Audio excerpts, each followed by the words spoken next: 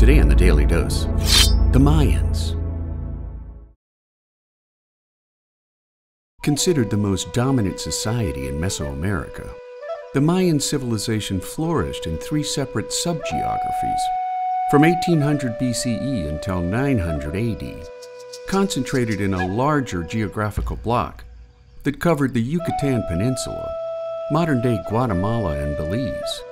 parts of Honduras and El Salvador, as well as parts of the Mexican states of Tabasco and Chiapas, which proved to be a geographic deterrent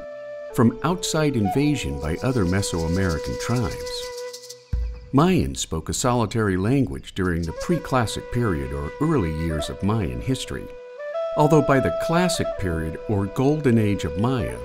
from 250 to 900 AD, a wide diversity of languages came into play many of which are still spoken in modern day Mexico and Central America by more than 5 million people. Employing a combination of primitive and complex agricultural techniques, from slash and burn land clearing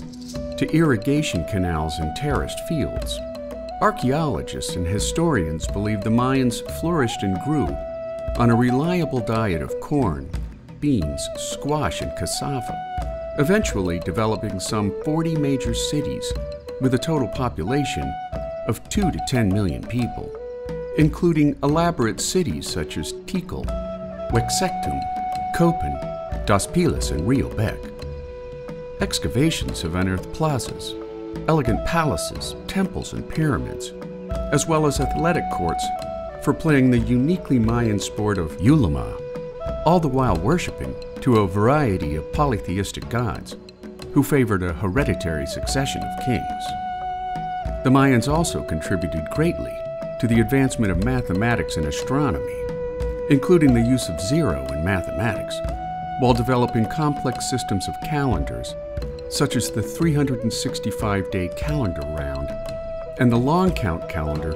that spanned some 5,000 years into the future. They also wrote books known as codices on paper made from tree bark, while being credited with some of the earliest uses of chocolate and rubber. They vanished abruptly around 900 AD, and while scholars have postulated theories such as overpopulation followed by a protracted period of drought, no one knows with any certainty why the Mayan Empire came to such a sudden end, making the Mayan civilization an early frontrunner in Mesoamerican history.